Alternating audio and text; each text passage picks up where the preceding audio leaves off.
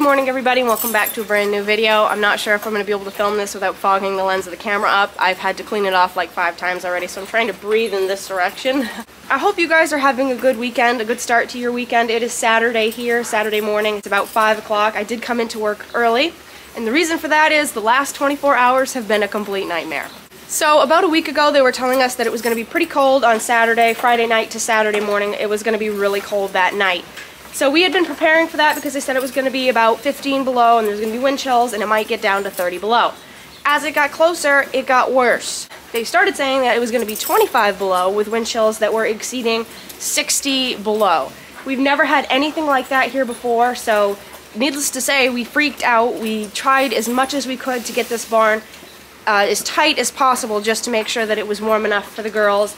And last night was the night. So it ended up getting down to about 23 below, but with the wind chill, it was it ended up being a little better than they said. It was about 50 below, but still incredibly cold. I actually didn't even, I actually had to have a ride to work because my vehicle did not start. It didn't even turn over. It started last night, but this morning, nothing. Didn't even turn over. I've never seen it this cold in my life. The point of this video was I just kind of wanted to show you guys how the barn fared in this really terrible weather that I've never seen before. My mother actually said she saw somewhere that it was once in a generation kind of cold. So I just wanted to show you guys how we made out with that. Uh, but first, obviously, I will introduce a couple girls to you guys. Right now, they are just eating their wrapped bale. We actually bought a wrap bale in last night. My camera's fogging up already, guys. We actually did bring a wrap bale in last night just to make sure that it wouldn't freeze because when it gets cold like this, the wrap bales do freeze. So we did bring one in last night and make sure that it was inside all night long so that, that we would actually be able to go around with one this morning. And also, we didn't want to have to open the barn to go outside for any reason because it is extremely cold. The wind is just insane. So we actually didn't do sawdust, we didn't go get a dry bale, so right now they're eating their wrapped bale first. That is why they're eating that first. So, introducing a couple girls to you guys. This right here is Gehl. She is a 13-year-old Jersey. She's a purebred Jersey. Uh, we've had her as long as I've worked here, she's been here. Something about her would be she just calved about two weeks ago. She's doing extremely well.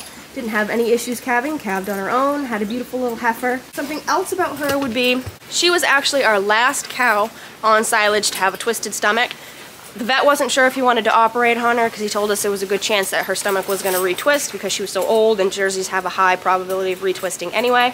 Uh, but we took a gamble and we decided to do the surgery and it's been about six years and here she is. So, so she triumphed that and she's still around to tell the story. So that is Gehl, spelt like the equipment company if you're wondering. So our next lovely lady, this right here is Abby. She is a Holstein, I think she's a Holstein Shorthorn cross. We're not 100% sure. We did buy her from a cattle dealer when she was a heifer. She wasn't even bred, I don't believe. Got her about six years ago, so I would assume she's about eight. She is the sweetest. Something about her is that she just absolutely loves to give you hugs. If you walk up next to her by her neck, she'll wrap her neck around you and give you a little hug, and it's just the cutest thing ever. Okay, so now for how this morning went. Like I said, I got here early. My dad actually gave me a ride. He dropped me off here a little bit early, about 15 minutes early, just so we could check on everything. So we came down, the barn is plenty warm, it's a little bit colder than it usually is obviously. Only issues we had was at the end of the barn, hi, this water bowl right here was frozen, and this one right here was frozen, and three, the first three on the other side were also frozen. So what we did was I just took a pail of hot water and a cup, and we just put the hot water, just dumped it on them until they thawed out, and then we realized that the water still wasn't coming, so we came down here. Everything in the corner was fine, so that wasn't the problem. Um, probably because it was leaking around that fan, this pipe up here did freeze. It probably comes up around that door too, but that did freeze, so we just, um, we actually just stuck the space heater in the bucket of the skid steer and stuck it up there as close as we could get to it and Turned that on and it thawed out in about two minutes and the girls have water now. I don't think it had been frozen for long because it started really fast. Uh, so far that is the only issue we've had this morning. Everything else seems to be going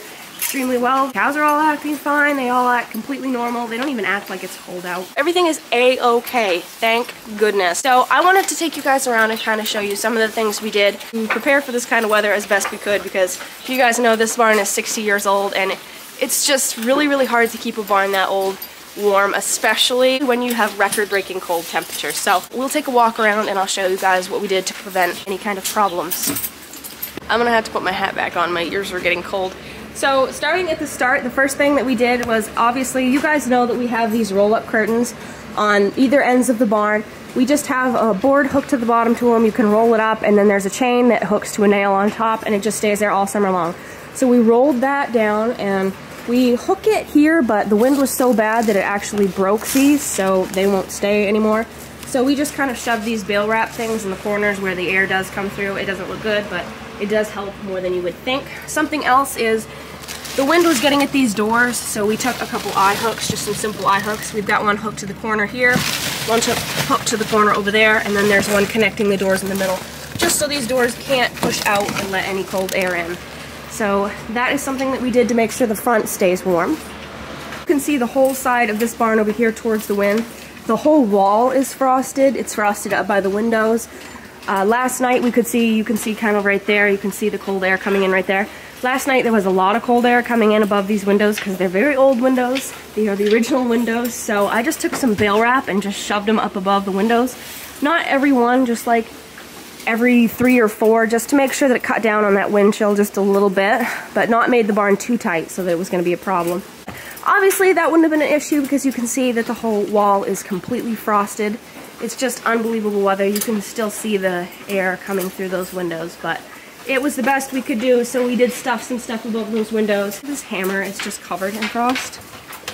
So another thing that we did is this barn has eight hay holes, four on either side, because it used to feed square bales, so they just had a bunch of square bales upstairs. I can't remember how many Brent said. I think he said, I think he said that they used to put something like 12,000 up there or something. So they would just throw them down the length of the barn and then they would strew them in front of the cows.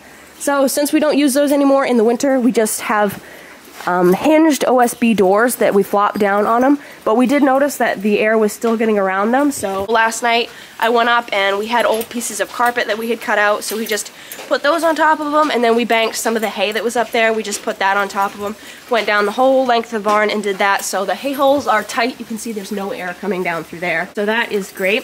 So we did that. If You guys have seen this before. This is in the middle of the barn. There's a door here that goes outside, so we just put a tarp over it and we noticed that there was a lot of air coming underneath the bottom of it, so we just pushed some old hay that the cows didn't want. We pushed that up against the bottom just to make sure that it was covering all that air coming through, and it did stop it quite a bit, I think. So another reason we did that was to keep this little chicklet warm.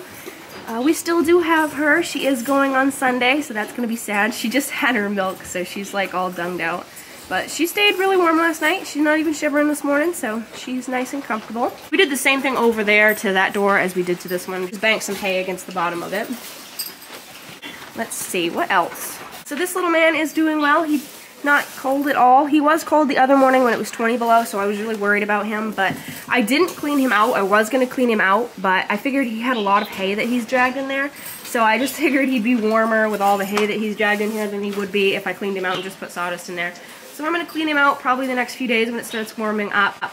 But for right now, he's going to stay nice and warm in all the hay that he's dragged into his pen because he is really annoying now. So here we have our tarp going to the outside on the back of the barn.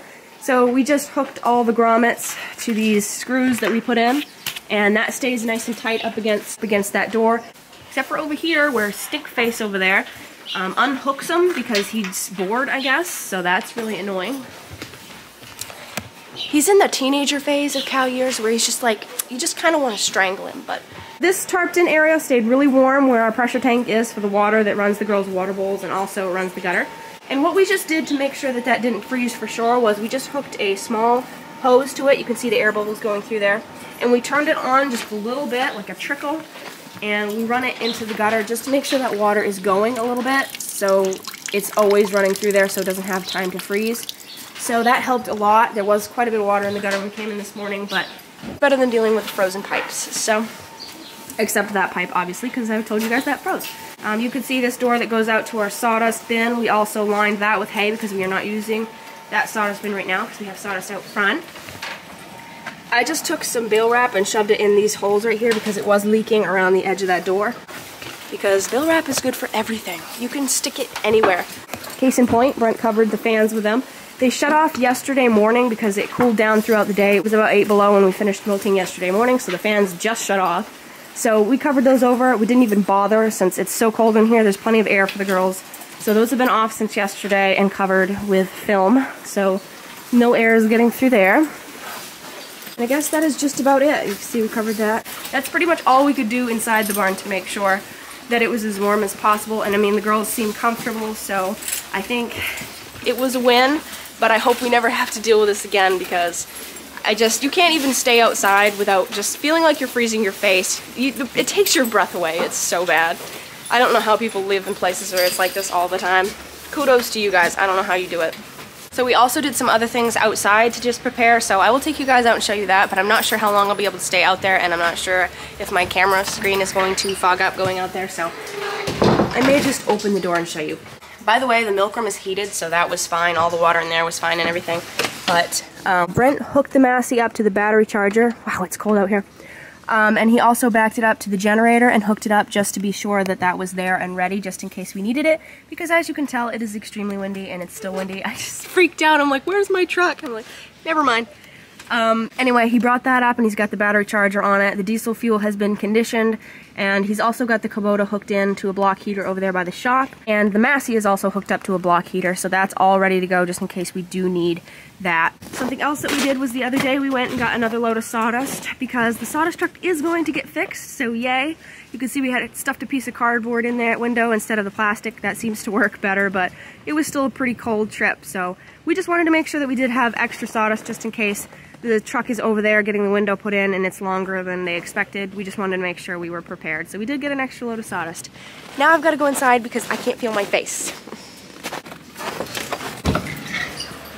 We also, yeah, it fogged up. I knew it would.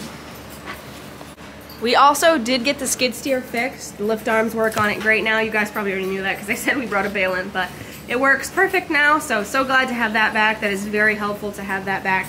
But now we must take a coffee break. Somebody said that I hadn't mentioned coffee in the last video and I must be slipping because I always remember my coffee. So um, I have to go take a coffee break right now. Then we're gonna milk the girls and just hope the rest of the morning goes as well as this morning did. I am just so grateful that frozen water was the only thing. That is so minor compared to what it could have been in, because this is just brutal temperatures. So it could have been a lot, lot worse. So anyway, thank you guys so much for watching. I hope you guys are having better weather where you are. I hope it's warm and you're staying safe and well. Please don't forget to like and subscribe and comment down below.